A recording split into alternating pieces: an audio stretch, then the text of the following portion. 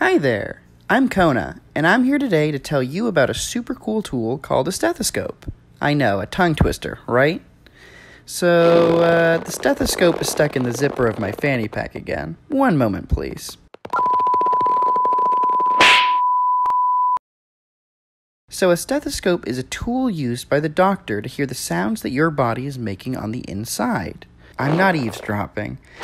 I just want to make sure you're healthy as can be. The doctor puts the two ear tips in their ears and places the bell on your skin to hear what's going on. The bell may be a little cold when the doctor first puts it on your skin, but don't worry, it'll warm up in a little bit of time. The doctor can hear everything from your heart beating to your lungs and intestines, and even your stomach growling. Looks like someone's hungry. Thanks for watching another episode of Kona's Corner. See you next time.